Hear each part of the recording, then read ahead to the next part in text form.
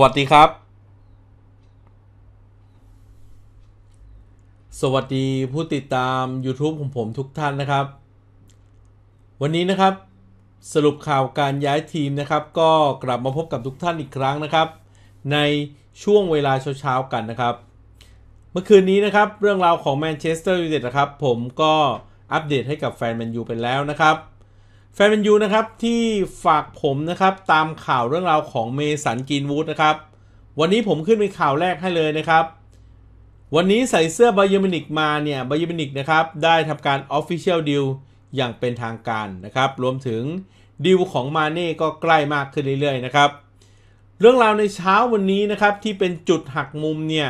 นอกจากสโมสรอาร์เซนอลนะครับกำลังปิดปิดดีลไปแล้วนะครับมาร์กินญอสนะครับซึ่งเป็น นักเตะดาวรุ่งนะครับที่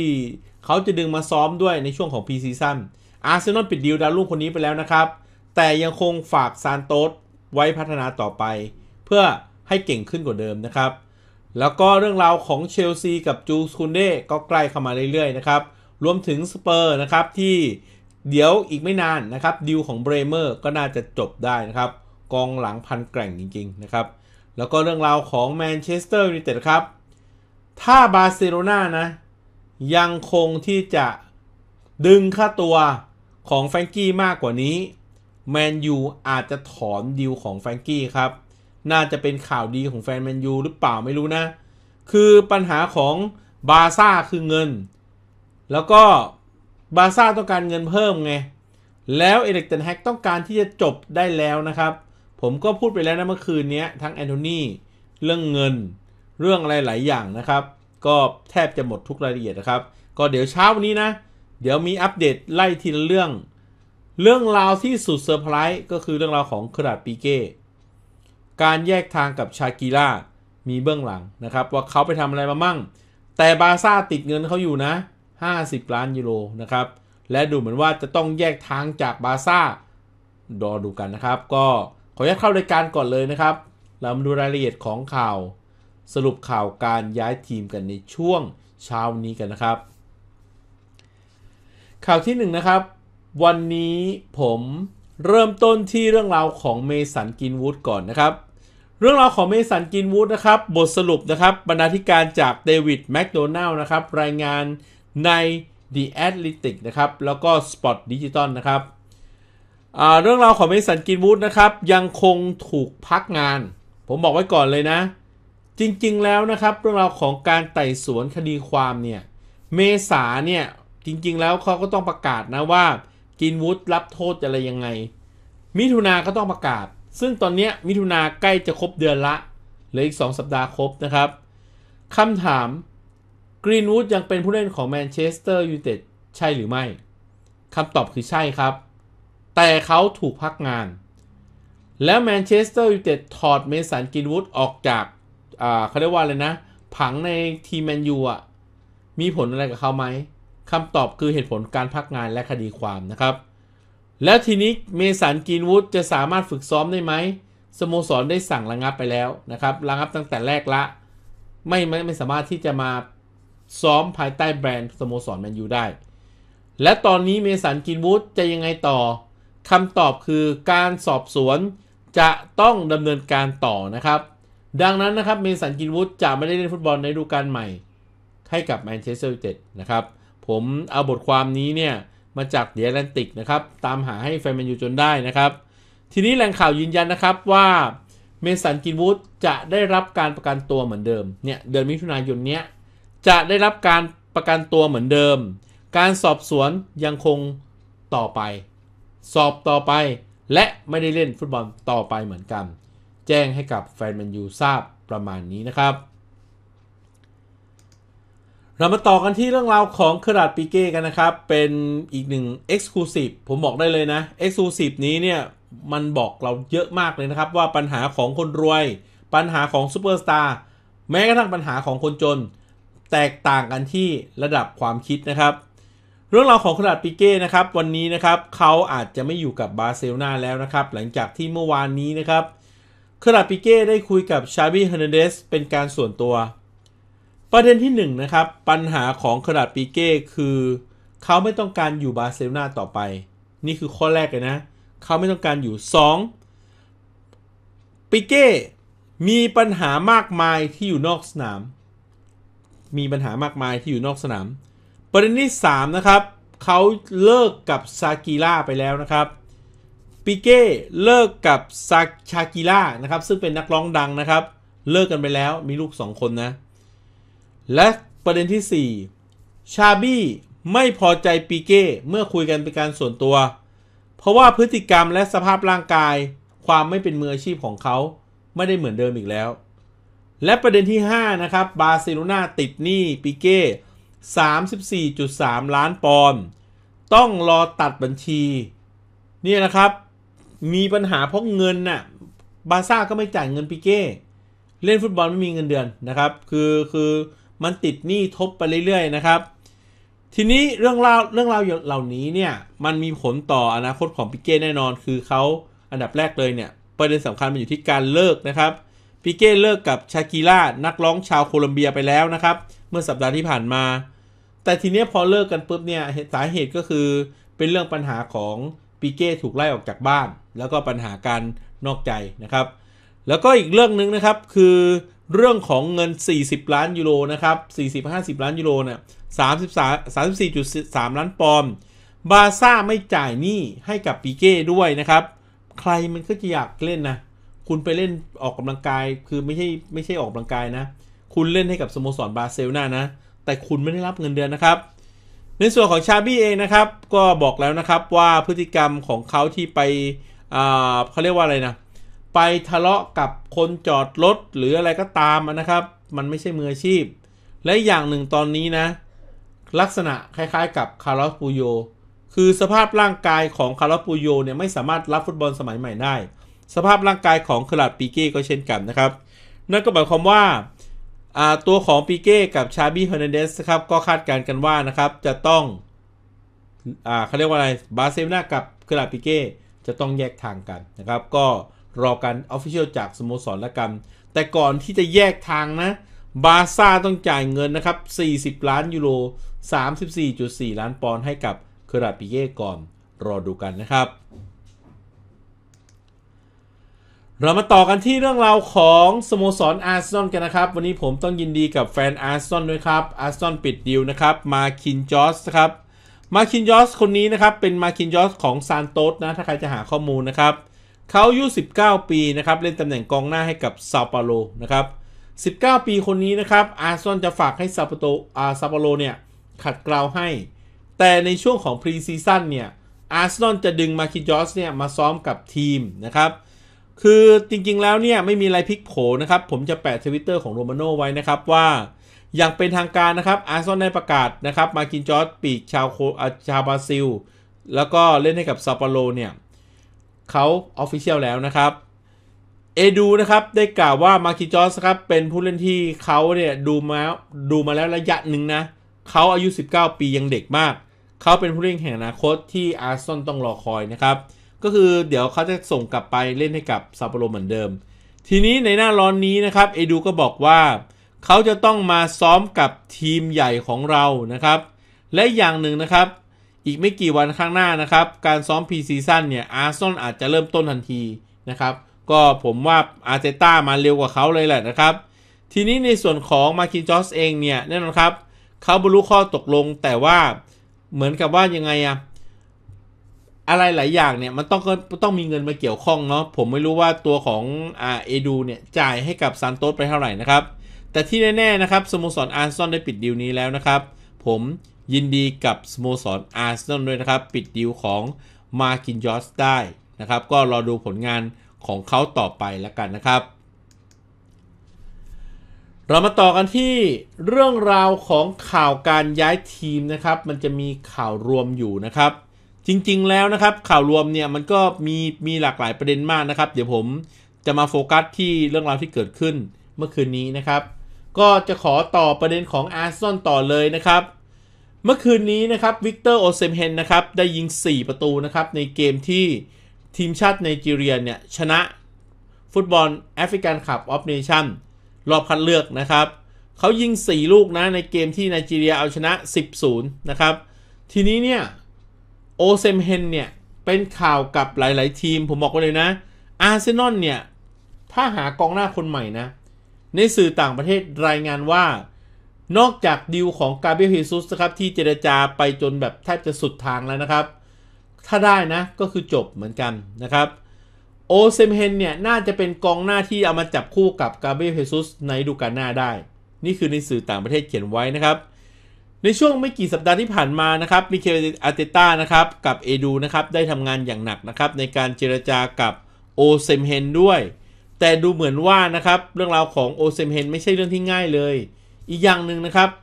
สโมสรต้นสังกัดของเขานาโปลีเนี่ยก็พยายาม up ค่าตัวไปแตะระดับ 100 ล้านยูโรแล้วนะครับ คือแพงมากเลยนะ ตอนนี้นะครับข้อเสนอต้องมากกว่า 65 ล้านปอนด์หรือ 80 ล้านยูโรเนี่ย ปัญหาอยู่ตรงนี้นะครับ เดี๋ยวรอดูกันนะครับว่าเอดูจะปิดดีลโอซิมเฮนได้หรือไม่ เพราะว่า project สำคัญของเขาคือการเอาโอซิมเฮนเนี่ย มาจับคู่กับกาเบรียลเฮซุสครับเฮซุสก็ส่วนเฮซุสไปตัวของอคนเนี้ยโอซิมเฮนก็ส่วนโอซิมเฮนไป รอดูกันนะครับอาร์เซนอลอาจจะปิด 2 ดีลก็ได้ รอดูกันนะครับ เรามาต่อกันที่เรื่องราวของสโมสรเซาท์แฮมป์ตันกันบ้างนะครับ วันนี้ไม่รู้ว่ามีแฟนเซาท์แฮมป์ตันหรือเปล่านะครับ ล่าสุดนะครับสโมสรเซาท์แฮมป์ตันนะครับก็เตรียมที่จะปิดดีลนะครับดีลของแมทเทียสสวานเบิร์กนะครับแมทเทียสสวานเบิร์กคือใครนะครับ ก็เป็นนักฟุตบอลชาวสวีเดนนะครับ เล่นตำแหน่งกองกลางให้กับสโมสรโบโลญญานะครับวัย 23 ปี สูง 185 เซนติเมตรนะครับ หนัก 75 กิโลกรัมนะครับ แล้วก็ติดทีมชาติสวีเดนด้วยนะครับ ทีนี้นะครับสวานเบิร์กเองเนี่ยเซาท์แฮมป์ตันนะครับยื่น 8.5 ล้านปอนด์ทีนี้กองกลางโบโลญญาเนี่ยมีหลาย ๆ ทีมสนใจอยู่นะครับ ตัวเขาเองเนี่ยเล่นได้โดดเด่นในกัลโช่เซเรียอานะครับทำไป 3 ประตูกับอีก 3 assist ครับ เมื่อฤดูกาลที่แล้วสวานเบิร์กนะครับก็ยังมีสัญญาอยู่อีก 1 ปีนะครับ แต่ตอนนี้เหลือ 1 ปีกับโบโลญญาใช่ไหม เซาท์แฮมป์ตันเลยยื่นข้อเสนอไปเลยนะครับ นั่นก็หมายความว่าตอนนี้นะครับเซาท์แฮมป์ตันก็มีโอกาสได้สวานเบิร์กรอดูกันนะครับ เรามาต่อกันที่เรื่องราวของสโมสรสเปอร์กันนะครับ อันนี้ก็เป็นดีลที่แฟนสเปอร์ได้ลุ้นนะครับ เมื่อวานนี้นะครับผมใส่เสื้อสเปอร์นะ แล้วก็นำเสนอสเปอร์เป็นข่าวแรกด้วยนะครับเรื่องราวของกองหลังที่เก่งที่สุดในกัลโช่เซเรียอานะครับ คือเบรเมอร์นะครับ ตอนนี้นะครับสถานการณ์ของสเปอร์เนี่ยการเซ็นสัญญากับเบรเมอร์ไม่ง่ายนะครับ เพราะว่ายูเวนตุสอินเตอร์มิลานและเอซีมิลานเนี่ยเข้ามาในตลาดแล้วนะครับ ในส่วนของอ่าดาวดาวิดดาวิดนะครับดาวิดวาเกนาตี้นะครับซึ่งเป็นหัวหน้าของโตริโนนะครับวันนี้บินไปลอนดอนแล้ว บินไปลอนดอนแล้วเพื่อคุยกับสเปอร์นะครับ ดูเหมือนว่านะครับการปิดดีลของสเปอร์นะครับและผู้อำนวยการของโตริโนเนี่ยมีโอกาสเป็นไปได้ ผมบอกได้เลยสเปอร์มีโอกาสได้เบรเมอร์สูงมากนะครับในเวลานี้นะครับ ถ้าวันนี้นะการคุยของผออคนนี้จบนะครับสเปอร์ก็สามารถปิดดีลได้แน่นะครับและอย่างหนึ่งเนี่ยการมาของเอซีมิลานยูเวนตุสและอินเตอร์มิลานเนี่ยจริงๆอ่ะสิ่งที่แตกต่างจากสเปอร์คือเขามีนักเตะที่ดีอยู่แล้ว แต่สเปอร์ต้องการคนนี้ รวมถึงคอนเต้ต้องการตัวของเบรเมอร์นะครับ ในส่วนของบาสโตนี่เนี่ยบาสโตนี่นะครับตอนนี้นะครับล้มเลิกความตั้งใจไปแล้วสเปอร์สล้มเลิกดีลของบาสโตนี่ไปแล้ว เขามุ่งไปที่เบรเมอร์คนเดียวนะครับ รวมถึงดีลของเปาตอร์เรสยังคงเป็นข้อเสนอที่ยังไม่มีการตอบกลับมา นี่นะครับทำไมดีลถึงหลาย ๆ คนบอกว่าวันนี้ทำไมถึงไม่มีอัปเดตคนนี้ เพราะว่าข้อเสนอที่ถูกยื่นไปเนี่ยยังไม่ตอบกลับมานะครับ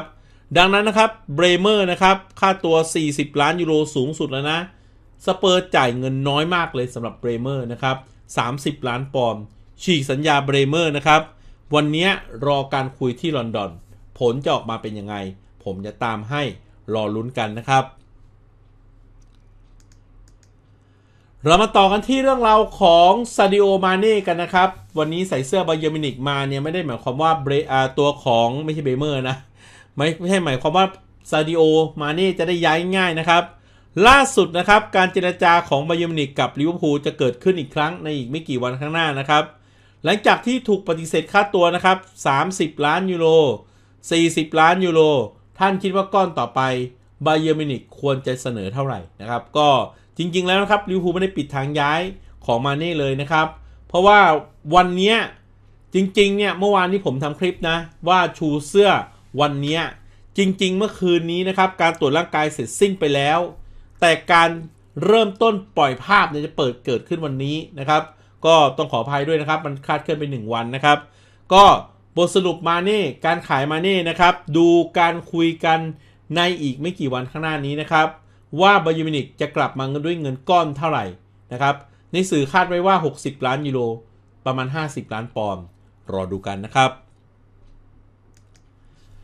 เรามาต่อที่เรื่องราวของดาร์วินนูนเญซกันนะครับ การตรวจร่างกายกับลิเวอร์พูลเมื่อคืนนี้นะครับ ก็เสร็จสิ้นไปแล้วนะครับ ขั้นตอนต่อไปนะครับจะเกิดขึ้นในเช้าวันนี้นะครับ คือวันอังคารนะครับ ก็คือรูปถ่ายนะครับตามรายงานจาก Liverpool Echo ด้วยนะครับ คือเมื่อวานนี้ตรวจร่างกายกันเย็นนะครับ แล้วก็มันก็เสร็จสิ้นการตรวจไปแล้วไง แต่ภาพถ่ายการเปิดเผยรูปอะต้องเป็นวันนี้นะครับ รูปชูเสื้อนะครับ ต้องต้องขออภัยด้วยนะครับ ว่าผิดไปวันนึงรอดูกันนะครับ เรามาต่อกันที่เรื่องราวของโรเบิร์ต เลวานอฟสกี้กันนะครับ วันนี้นะครับบาเยิร์นมิวนิคอนุญาตแล้วนะครับ ให้โรเบิร์ต เลวานอฟสกี้นะครับ เข้าร่วมบาร์เซโลนาได้ แต่อย่าลืมนะ เข้าร่วมบาร์เซโลนาได้ 50 ล้านยูโรนะครับ ล่าสุดนะครับบาร์เซโลนานะครับอาจจะต้องหาเงินจ่าย 50 ล้านยูโร ดังนั้นนะครับดีลที่จะเกิดขึ้นในวันนี้เนี่ยน่าสนใจมาก คือแหล่งข่าวมาจากคาตาลัญญาเรดิโอนะครับเป็นแหล่งข่าวในสเปนนั่นแหละเขาบอกแล้วนะครับว่า เลวานเนี่ยอนุญาตแล้วนะครับ 50 ล้านยูโรนะครับก็ทีนี้นะครับในสื่อต่างประเทศเขาก็คาดการณ์ไว้นะครับแฟรงกี้ต้องขยับละรอลุ้นกันนะครับเรามาต่อกันที่เรื่องราวของสโมสรแมนเชสเตอร์ซิตี้กันบ้างนะครับ เดี๋ยวผมรอให้เขา official แล้วกันนะครับแมนซิตี้จะปิด 2 ดีล ผมบอกล่วงหน้าไว้เลยนะครับ วันนี้นะครับ เรื่องราวที่ 1นะครับเป็นเรื่องราวของไอแซคตูเร่นะครับ ไอแซคตูเร่คือใครนะครับ เป็นนักฟุตบอลชาวฝรั่งเศสนะครับ เล่นตำแหน่งกองหลังให้กับสโมสรเลออาฟร์ในลีก2อายุ 19 ปีนะครับ สูงท่านฟังชัดๆนะ คนนี้นะครับไอแซคตูเร่สูง2เมตร6นะครับ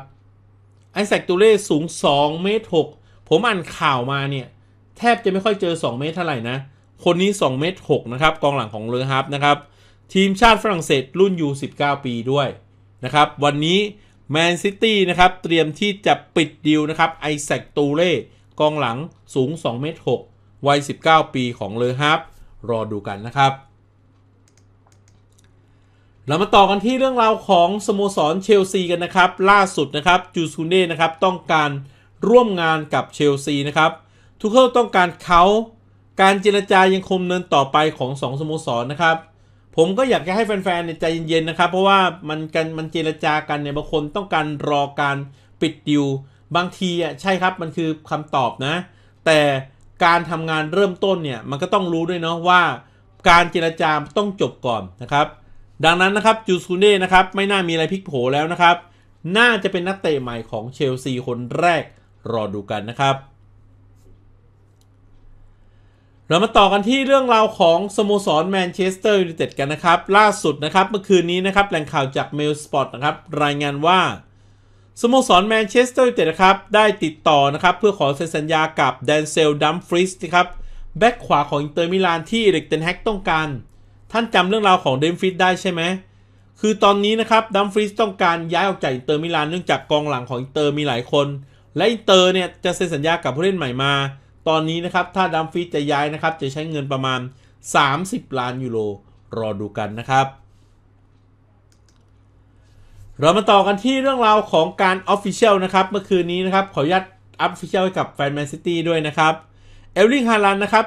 22 ปีที่แล้วนะครับ ก็คือการถ่ายรูป 8,035 วัน การประกาศเซ็นสัญญากับเออร์ลิงฮาลันด์ถึงเกิดขึ้นนะครับ ค่าตัวในการย้ายทีม 60 ล้านยูโรในการฉีกสัญญา สัญญาถึงปี 2027 นะครับ ยินดีกับกองหน้าคนใหม่ของแมนซิตี้ด้วยนะครับ เรามาต่อกันที่เรื่องราวของสโมสรลิเวอร์พูลกันนะครับ การ official ดีลของดาร์วินนูนเญซก็เกิดขึ้นที่เบนฟิก้านะครับแถลงการณ์อย่างเป็นทางการนะครับดาร์วินนูนเญซเป็นผู้เล่นของลิเวอร์พูลแบบถาวรแถลงการณ์ของเบนฟิก้าระบุค่าตัวชัดเจนนะครับว่า 75 ล้านปออ่า75 ล้านยูโรคือค่าธรรมเนียม ส่วนเสริมรวมเป็น 100 ล้านยูโรนะครับดาร์วินนูนเญซเซ็นสัญญาถึงปี 2028 นะครับ ตรวจร่างกายเสร็จแล้ว เดี๋ยวรอรูปถ่ายชูเสื้อรอดูกันนะครับ เรามาต่อกันที่เรื่องราวของสโมสรแอสตันวิลล่ากันนะครับ ล่าสุดนะครับโรรี่วิลสันนะครับ ซึ่งเป็นกองหน้าชาวสกอตแลนด์ที่มากพรสวรรค์ของเรนเจอร์สนะครับ ก็ตอนนี้นะครับบรรลุข้อตกลงส่วนตัวนะครับวิลสันจะมาอยู่กับ แอสตันวิลล่าของสตีเฟนเจอร์ราร์ดในวันที่ 1 กรกฎาคมนะครับวิลสันยิงไป 49 ประตูในระดับเยาวชนนะครับ ก็ยินดีกับสตีเฟนเจอร์ราร์ดด้วยนะครับ เรามาต่อกันที่เรื่องราวของการ official กันนะครับ ล่าสุดนะครับสโมสรเชลซีได้ขยายสัญญาของบิลลี่กิลมัวร์นะครับ ถึงปี 2024 นะครับ มิดฟิลด์รายนี้นะครับ ถูกปล่อยให้ยืมตัวกับนอริชซิตี้นะครับ แล้วก็ล่าสุดเนี่ย ก็จะกลับมาอยู่กับสแตมฟอร์ดบริดจ์นะครับ การขยายสัญญาครั้งนี้นะครับ official แล้วยินดีกับบิลลี่กิลมัวร์ด้วยนะครับ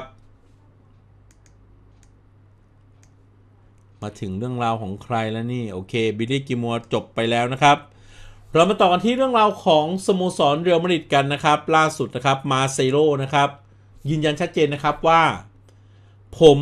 จะไม่รีทายในตอนนี้ ผมยังรู้สึกว่าผมยังเล่นได้อยู่ การเผชิญหน้ากับเรอัลมาดริดในอนาคตมันอาจจะเกิดขึ้นก็ได้ ผมจะมันจะไม่เป็นปัญหากับผม ผมเป็นมาดริดเนียสดิอะไรเนี่ยมาดริดดิสตานะครับมาดริดดิสตานะครับ ผมอ่านชื่อผิดขออภัยนะครับ นิดหน่อยนะครับ เป็นแฟนมาดริดนั่นแหละ แล้วก็ มีความเป็นมืออาชีพที่ยิ่งใหญ่ด้วยเช่นกันนะครับ เจอมาดริดผมก็ไม่กลัวนะครับ ก็มาร์เซโลอำลาเรอัลมาดริดอย่างเป็นทางการนะครับ ก็ว่ากันไปตามนี้นะครับ ถึงข่าวไหน อ๋อแฟรงกี้เหรอครับ เอาท่านฟังประเด็นนี้ดีนะ เรามาต่อกันที่เรื่องราวของแฟรงกี้เดอยองกันนะครับ วันนี้เนี่ยบทความในเดียร์แลนติกนะครับ โดยโอลิเวอร์โทมัสแฟนแมนยูต้องฟังดีๆนะครับว่า ล่าสุด สโมสรแมนเชสเตอร์ยูไนเต็ดนะครับ ยินดีนะครับ ที่จะไม่เซ็นสัญญากับแฟรงกี้ ถ้าบาร์เซโลนายังขอเพิ่มค่าตัว เมื่อคืนนี้นะครับ เรื่องราวของการยื่นค่าตัวนะครับ 51 ล้านปอนด์บวก 17 ล้านปอนด์และยังมี option เสริมอีก ซึ่งน่าจะเป็นข้อเสนอสุดท้ายนะครับ ผมมองแล้วนะ ข้อเสนอสุดท้ายของแฟรงกี้ คือถ้าเกิดล่าสุดนะ จอห์นเมอร์ทัฟเป็นคนดำเนินการเองนะ ในสื่อต่างประเทศนะครับ รวมถึงแมนเชสเตอร์อีฟนิงนะเขาบอกเลยว่า บาร์ซ่าต้องการทำเงินของแฟรงกี้ให้แตะ 100 ล้านยูโรให้ได้ 100 ล้านยูโรนี่ 85.7 ล้านปอนด์เลยนะ ท่านคิดว่าแพงไหมสำหรับแฟรงกี้เนี่ย และอย่างหนึ่งเนี่ยบาซ่าต้องเอาเงินไปปลดหนี้ แต่แมนยูเสนอไปเมื่อคืนนี้นะครับ ท่านจำได้ใช่ไหม51บวก17 51บวก17 คือเงินใกล้ 80 ล้านยูโร ซึ่งมันเพียงพอละสำหรับแฟรงกี้ที่แมนยูมองไว้ แต่ถ้าเกิดวันนี้นะครับ ข้อเสนอถูกเพิ่มเป็น 100 ล้านยูโรเมื่อไหร่นะ มากกว่าเดิมคือ 85.7 ไง แมนยูจะไม่เซ็นแฟรงกี้นะครับ รอดูกันเลยนะครับ วัดใจกันไปเลย เมื่อบาซ่าเนี่ย ตอนนี้เขาต้องการเงินไปเซ็นเลวาน เขาต้องรับข้อเสนอเมื่อคืนนี้ รอลุ้นกันนะครับ เรามาต่อกันที่เรื่องราวของแอนโทนีกันนะครับ เมื่อคืนนี้นะครับแอนโทนีเนี่ยที่ผมทำในสื่อในข้อมูลคือ 34.8 ล้านปอนด์นะครับ ล่าสุดนะครับแมนเชสเตอร์ยูไนเต็ดก็ยืนยันโดยโรมาโน่นะแมนยูสนใจแอนโทนีจริงๆ เอริกเทนฮากรู้จักเขาเป็นอย่างดี ยังไม่มีข้อเสนอใด ๆ นี่คือการยืนยันจากโรมาโน่ซึ่งจะแตกต่างจากสื่อที่ผมนำเสนอเมื่อคืนนะครับ คือจริงๆแล้วเขาคุยกันไปแล้ว การคุยกันภายในเนี่ย รู้ตัวเลขกับอาแจกซ์นะครับ แต่โรมาโนในส่วนนี้เขาไม่ได้บอก และโรมาโนยังบอกอีกนะครับว่าอีเมอร์สันซานโตสครับซึ่งเป็นน้องชายของแอนโทนีที่ไม่ใช่เอเย่นต์นะ ที่ให้ข่าวอ่ะ ไม่ได้ให้สัมภาษณ์ด้วยมันเป็นข่าวปลอม ดังนั้นนะครับเรื่องราวของแอนโทนีนะครับคือสนแมนยูสนใจจริง เรื่องราวการคุยภายในตัวเลข รอการตอบกลับจากอาแจกซ์นะครับแมนยูยังสนใจแอนโทนีดีลนี้ยังมีโอกาสเกิดขึ้นได้ รอดูกันนะครับ เรามาต่อกันที่เรื่องราวของสโมสรลีดส์ยูไนเต็ดกันนะครับ ล่าสุดในตอนนี้นะครับลีดส์ยูไนเต็ดได้เจรจากับบาร์เซโลนานะครับ เพื่อขอซื้อมาร์คโรคานะครับมาร์คโรคาคือใครนะครับ เขาเป็นกองกลางของบาเยิร์นมิวนิกนะครับ เล่นให้กับเอสปันยอนมาก่อนนี้ 121 นัด ก่อนมาอยู่กับเรอัลมาดริดนะครับ ทีนี้ประเด็นสำคัญของมาร์คโรคาก็คือเขาจะหมดสัญญา กองกลางวัย 25 ปีคนนี้จะหมดสัญญานะครับ ดังนั้นนะครับ เป็นโอกาสดีแล้วที่สโมสรลีดส์ยูไนเต็ดจะเซ็นสัญญากับกองกลางคนนี้นะครับ เพราะว่าตอนนี้นะครับเวสต์แฮมก็สนใจด้วยเช่นกันนะ แต่ลีดส์เนี่ยเป็นผู้นำการแข่งขัน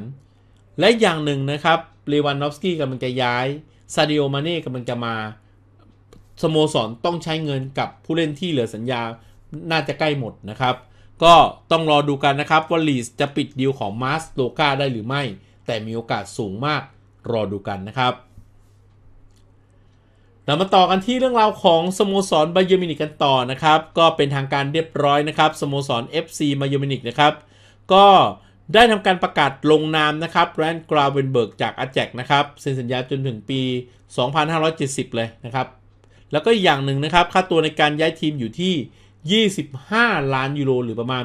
21 ล้านปอนด์นะครับ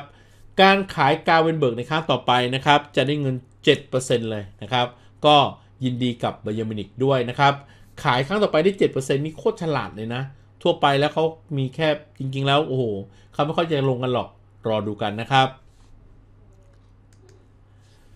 เรามาต่อกันที่เดี๋ยวนะครับ ขออนุญาตมาที่ใครแล้วเนี่ย อ๋อ เรื่องราวของสโมสรนิวคาสเซิลนะครับ ล่าสุดนะครับในดีลของเอคิติเก้นะครับล่าสุดนะครับนิวคาสเซิลหวังว่าจะปิดดีลได้ในสัปดาห์นี้เลยนะครับ หลังจากที่เอคิติเก้นะครับได้รับบาดเจ็บนะครับ แต่การบาดเจ็บไม่รุนแรงนะ ผมได้รับการยืนยันจากสื่อแล้วนะครับ ไม่รุนแรงและเอคิติเก้เนี่ยได้เปลี่ยนเอเย่นต์ใหม่นะครับในการเจรจากับนิวคาสเซิลนะครับคาดกันว่าสัปดาห์นี้นะครับแฟนนิวคาสเซิลได้อีคิติเก้แน่นะครับ ผมยินดีล่วงหน้ากับแฟนนิวคาสเซิลเลยเพราะว่าการคุยค่าตัวมันจบไปแล้วไง มันเหลืออีกการตรวจสัญญาแหละ ดันไปเล่นบอลไอ้ทีมชาติฝรั่งเศสรุ่น U U เท่าไหร่ U สิบเก้าปีใช่ไหมที่รับบาดเจ็บอะนะครับ ก็รอดูกันนะครับ เรามาต่อกันที่เรื่องราวของสโมสรฟูลแลมนะครับน้องใหม่พรีเมียร์ลีกนะครับล่าสุดนะครับกลับมาปิดดีลได้นะโอ้เก่งมากเลยฟูลแลมนะครับเข้าใกล้กับการปิดดีลนะครับมานอร์โซโลมอนนะครับซึ่งตอนนี้นะครับคือเมื่อสัปดาห์ที่แล้วอะข้อดีลมันล่มดีลมันล่ม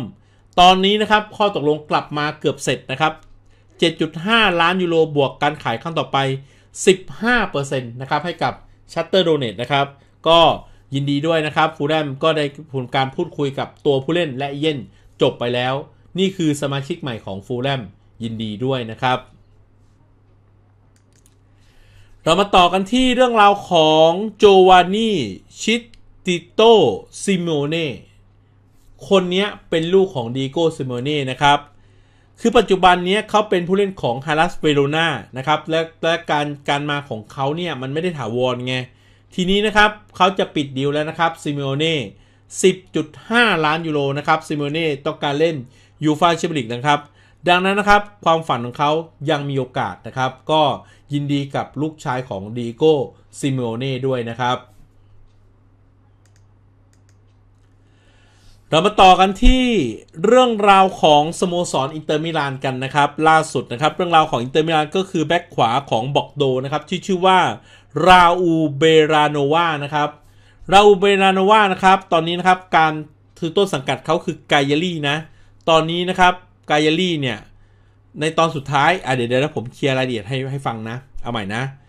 ราอูลเบลลาโนวาคือใครนะครับ เป็นนักฟุตบอลชาวอิตาลีนะครับ เล่นแบ็คขวาให้กับกายารี่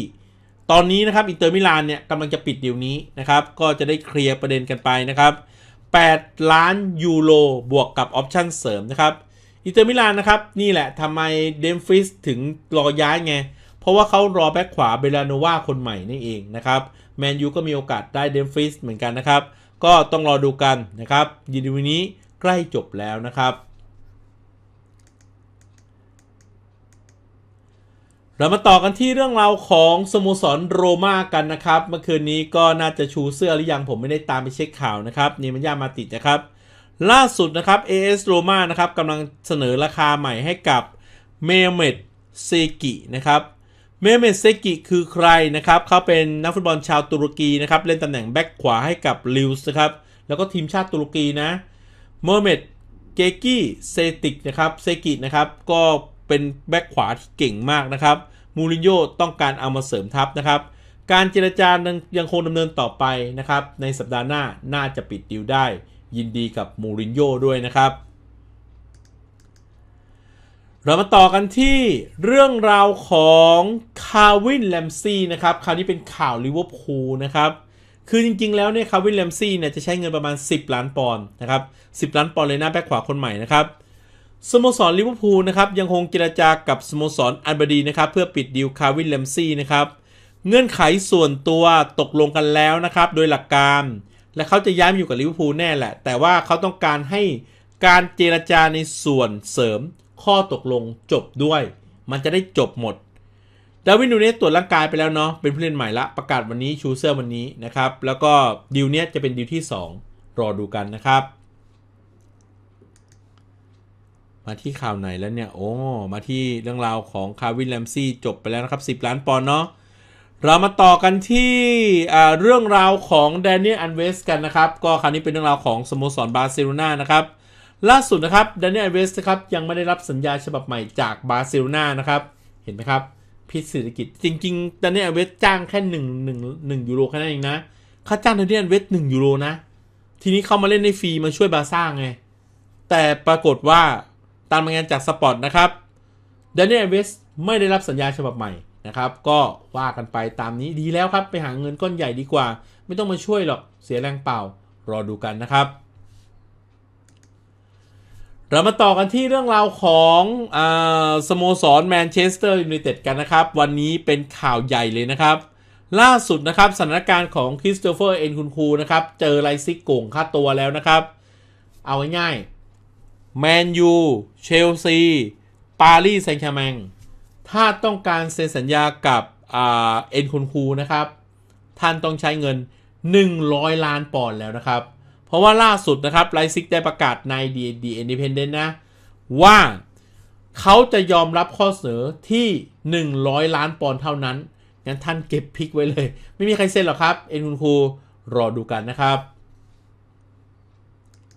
ถึงข่าวไหนแล้วนะครับ โอ้โห วันนี้เยอะจริง ๆ นะครับ เอริกเซ่นเนี่ย ผมพูดไปแล้วเนาะเมื่อคืนนี้เนาะ พอดีมันอยู่ในหน้าฟีดข่าวขึ้นมานะครับ คราวนี้มาฟังข่าวดีของแมนซิตี้กันนะครับ ล่าสุดนะครับ คาลวินฟิลลิปส์นะครับแมนซิตี้นะครับ ได้ยื่นข้อเสนออย่างเป็นทางการเพื่อปิดดีลคาลวินฟิลลิปส์แล้วนะครับ ตอนนี้นะครับคาลวินฟิลลิปส์นะครับ เหลือสัญญา 2 ปีในเอลแลนด์เอลแลนด์โรดนะครับ และอย่างหนึ่งครับ ตามรายงานจากฟุตบอลอินไซเดอร์รายงานว่า เป๊ปกวาร์ดิโอล่านะครับสามารถเอาชนะทุกแข่คู่แข่งได้ทุกคนเลยนะครับ ไม่ว่าจะเป็นแมนเชสเตอร์ยูไนเต็ดนิวคาสเซิลแอสตันวิลล่าเวสต์แฮมยูไนเต็ดนะครับ รวมถึงลิเวอร์พูลไม่มีชื่อขึ้นมานะ ก็นั่นก็หมายความว่านะครับ การเสนอดีลของคาลวินฟิลลิปส์นะครับ จะอยู่ที่ 50 ล้านปอนด์อย่างน้อยนะครับ ก็เดี๋ยวรอดูตัวเลขกัน วันนี้นะครับแมนซิตี้ได้ยื่นอย่างเป็นทางการแล้ว รอลุ้นกัน เหมือนผมจะเอาขึ้นปกให้กับแฟนแมนซิตี้ไปแล้วนะครับ วันนี้เป็นวันยื่นอย่างเป็นทางการรอลุ้นกันนะครับ หมดหรือยังหมดหรือยังเดี๋ยวไล่นิดนึงนะครับ อ๋อเรื่องราวของอาร์เซนอลเหรอครับ เรามาต่อกันที่เรื่องราวของสโมสรอาร์เซนอลกันนะครับ ล่าสุดนะครับในดีลของเบรโนนะครับล่าสุดนะครับสโมสรฟูแล่มนะครับได้ยื่นข้อเสนออย่างเป็นทางการนะครับให้อาร์เซนอลพิจารณาในการปล่อยเบรโนให้กับสโมสรฟูแล่มนะครับ คือในตอนนี้เองนะครับ ดีลหลายดีลเนี่ยที่เกิดขึ้นอาร์เซนอลเนี่ยไม่ว่าจะเป็นตีเลอมองส์นะครับแล้วก็ดีลอื่นๆนะครับดีลของกาเบรียลเฮซุสด้วย คือรอการตอบกลับแค่นั้นเองนะครับ ก็ในส่วนของเบรนด์ เลโนกับฟูแล่มเข้ามาใหม่นะครับ ก็รอดูกันนะครับว่าอาร์เซนอลจะยอมรับข้อเสนอที่ตัวเลขเท่าไหร่ ตัวเลขไม่ได้บอกว่าในข่าวรอลุ้นกันนะครับหมดหรือยังโอ้เรื่องราวของนิวคาสเซิลเหรอครับ เรามาต่อกันที่เรื่องราวของสโมสรนิวคาสเซิลกันต่อนะครับ ล่าสุดนะครับ เรื่องราวของเดมิสเดมิราลนะครับเดมิสเดมิราลนะครับกองหลังของยูเวนตุสครับล่าสุดนิวคาสเซิลเตรียมที่จะยื่นข้อเสนอ ให้กับยูเวนตุสพิจารณานะครับเดมิราลนะครับไม่ได้อยู่ในแผนการทำทีมของอายูเวนตุสครับเพราะว่าตอนนี้เขากำลังเซ็นสัญญากับผู้เล่นใหม่มานะครับค่าตัวในการย้ายทีมมาอยู่กับนิวคาสเซิลน่าจะประมาณ 16ถึง20 ล้านปอนด์นะครับ ก็เป็นกองหลังพันธุ์แกร่งคนหนึ่งนะครับ ก็ต้องรอดูกันนะครับแฟนนิวคาสเซิลได้ลุ้นเดมิสเดมิราลนะครับ หมดหรือยัง อันสุดท้ายโอเค ปิดท้ายด้วยข่าวนี้กันไปเลยนะครับ เป็นข่าวของสเปอร์นะครับ ล่าสุดนะครับในดีลของลูคัสปาเกตตานะครับ ก็ตั้งเป้าไว้แล้วนะครับสเปอร์นะครับตามรายงานจากคอนิกไรส์นะครับรายงานว่า ปาเกตตานะครับค่าฉีกสัญญานะครับ 80 ล้านยูโรหรือประมาณ 68 ล้านปอนด์นะครับวันนี้นะครับนอกจากนิวคาสเซิลเป็นคู่แข่งของสเปอร์แล้วสเปอร์เตรียมยื่นข้อเสนออย่างเป็นทางการนะครับในเร็ววันนี้นะครับก็ไม่ได้บอกว่าจะเป็นวันไหนนะนิวคาสเซิลเคยยื่นไป 50 ล้านปอนด์ถูกปฏิเสธนะครับคราวนี้จะต้องมาปิดที่ 68 กันไปเลย ฉีกสัญญากันไปเลยรอลุ้นกันนะครับ ระหว่างนิวคาสเซิลกับสเปอร์นะครับ เป็นไงบ้างครับ สรุปข่าวการย้ายทีมตลาดนักเตะล่าสุดในเช้าวันนี้นะครับ บทสรุปสำคัญของคลิปนี้นะครับ ประเด็นที่1นะครับก็คือประเด็นของเมสันกรีนวูดนะครับ เมสันกรีนวูดนะครับจะต้องขึ้นศาลต่อไป และจะไม่ได้ซ้อมกับแมนเชสเตอร์ยูไนเต็ดต่อไป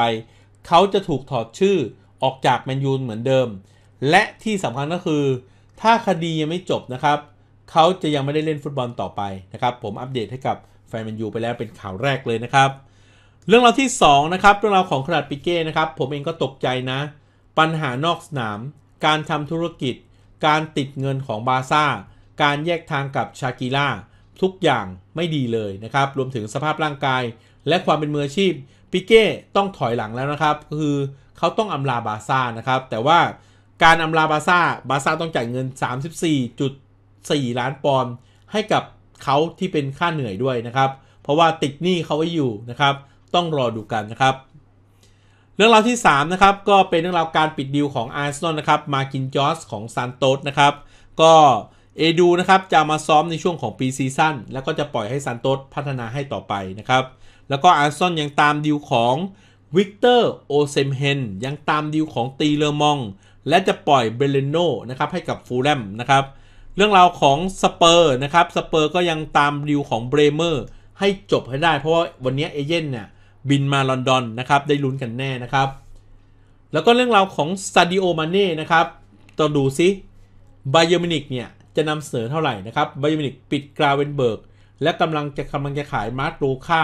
ให้กับลีดส์ยูไนเต็ดนะครับแล้วก็ปล่อยเลวานให้กับบาซ่า 50 ล้านยูโรนะครับการหมุนเวียนเงินเนี่ยเกิดขึ้นละนะครับต้องอยู่ที่บาซ่าด้วยนะครับ เรื่องราวของลิเวอร์พูลนะครับภาพถ่ายชูเสื้อจะเกิดวันนี้นะครับเมื่อคืนนี้ เสร็จสิ้นการตรวจร่างกายนะครับวันนี้เกิดขึ้นก็คือการชูเสื้อนะครับ แล้วก็เรื่องราวของอ่าแมนซิตี้นะครับสองดีลที่จะปิดนะครับ ก็คือดีลของอิสักตูเร่คนนี้2เมตร6กองหลังของเลออาฟร์นะครับกำลังจะปิดดีลนะครับ แล้วก็คาลวินฟิลลิปส์นะครับน่าจะประมาณ 60 ล้านปอนด์นะครับแฟนแมนซิตี้ก็รอเฮได้นะครับ ในขณะที่เชลซีนะครับเชลซีเนี่ยจูลส์กุนเด้นะครับ ก็ชัดเจนนะครับ เขาต้องการทำงานกับโทมัสทูเคิลไม่มีอะไรพลิกโผนะครับ กุนเด้จะกลายเป็นสมาชิกใหม่ของเชลซีแน่ ๆ นะครับ รอดูกันเลยนะครับ เรื่องราวของแมนเชสเตอร์ยูไนเต็ดนะครับเดนเซลดัมฟรีส์ครับต้องย้ายแน่และแมนยูมีโอกาสได้ 30 ล้านยูโรเพราะว่าอินเตอร์มิลานนะครับประกาศเซ็นสัญญากับแบ็คขวาคนใหม่แล้วนะครับ เพราะว่าดัมฟรีส์ต้องย้ายแล้วนะครับ แล้วก็แมนเชสเตอร์ยูไนเต็ดนะครับในดีลของแฟรงกี้อาจจะต้อง ถ้าเกิดไม่มีอะไรพลิกโผนะ ข้อเสนอขอไปนะครับ ข้อเสนอ 80 ล้านยูโรเขาต้องรับแล้วนะ เขาต้องรับแล้ว ถ้ายังเพิ่มเป็นร้อยล้านยูโรอีก ไม่ได้นะครับแมนยูจะถอนดีลแฟรงกี้นะ เรื่องราวของแมนซิตี้นะครับ official ดีลของฮาลันด์ลิเวอร์พูล official ดีลของนูเนสแอสตันวิลล่าของสตีเฟนเจอร์ราร์ดนะครับ ก็ได้อ่าโรรี่วิลสันนะครับ กองหน้าดาวรุ่งที่ยิง 49 ประตูนะครับ มาร่วมทัพนะครับ เชลซี official ในการต่อสัญญาบิลลี่กิลมัวร์นะครับเรอัลมาดริดเรื่องราวของมาร์เซโลนะมาร์เซโลยังไม่เลิกเล่นนะครับ และอนาคตเขาอาจจะกลายเป็นคู่แข่งของเรอัลมาดริดด้วยนะครับ ก็ความมืออาชีพเนาะแล้วก็เรื่องราวของแอนโทนีนะครับยังทิ้งไม่ได้นะครับแอนโทนียังเป็นดีลของเอริกเทนฮากอยู่นะครับ เรื่องราวของอาร์แลนด์กราเวนเบิร์กนะครับบาเยิร์นมิวนิก official เรียบร้อยนะครับ แล้วก็เอคิติเก้นะครับ สัปดาห์นี้นะครับ นิวคาสเซิลจะปิดดีลนะครับเอคิติเก้เปลี่ยนเอเย่นต์ใหม่แล้วนะครับฟูลแลมนะครับก็เตรียมปิดดีลมานอร์โซโลมอนก่อนหน้านี้ล่มไปนะครับแล้วก็ซิเมโอเน่นะครับก็จะย้ายมาอยู่กับอ่าจริงๆแล้วเขาจะเป็นผู้เล่นของเฮลลาสเวโรนาถาวร10.5 ล้านยูโรนะครับแล้วก็เรื่องราวของอ่าโอ้โหเดี๋ยวโรมานะครับต้องการแบ็คขวาคนใหม่คือเซลิกนะครับดังนั้นนะครับบิสซาก้าไม่ได้มาแน่นอนนะครับลิเวอร์พูลเตรียมปิดดีลนะครับ 10 ล้านปอนด์